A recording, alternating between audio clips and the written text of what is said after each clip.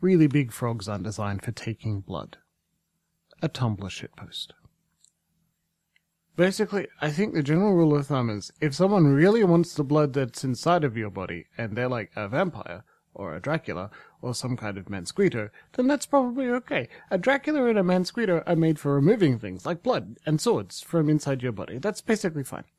If something was to get at your blood and they're, say, some kind of a Murdersaurus or maybe a really big frog, that's where the problems start to arise. A really frog is not made for removing blood, and your blood knows this, which is why it is so vehement about wanting to stay in your body instead of coming out. Unfortunately, this will not deter a really big frog, because a really big frog is full of things like prizes and value and quite a lot of hatred, and it would really rather like to replace any and all of those things with your blood, and basically by any means possible.